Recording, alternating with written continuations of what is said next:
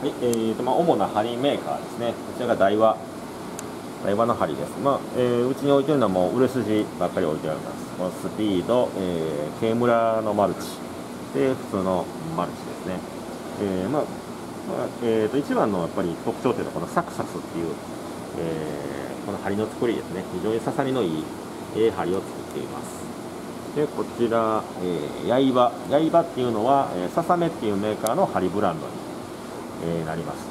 この、えー、どちらかというと針の本数が割と多めで、えー、値段が、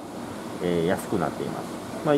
まあ、いろんなケームラグレとか戦列グレとかっていうどちらかっていうと大きめのグレを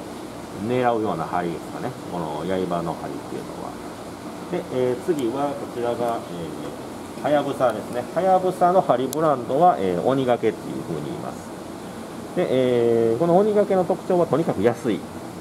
安くて、えー、品質がいいっていうところですね、えー、同じ、えーまあ、297円でも、え、針がこれ例えば3号だったら25本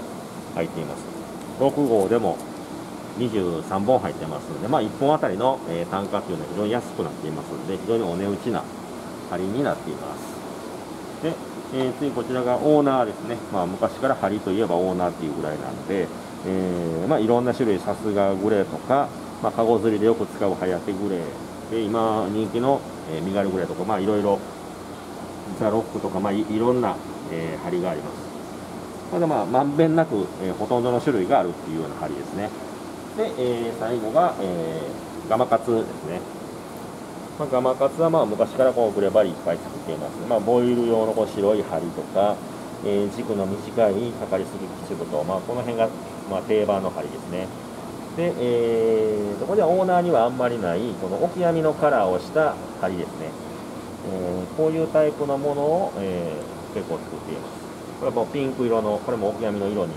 オキアミとかシューゲダイの色に合わせた針になっています。でこの辺の1頭ぐらいとかっていうと、えー、まあ、軸強くてあの針先が非常に、えー、鋭くなっていますね。あとはまこういう小さな針で吸い込みが良くした針とかっていうのもあります、まあ、これでぐらいですね、えー、主なメーカーっていうのは。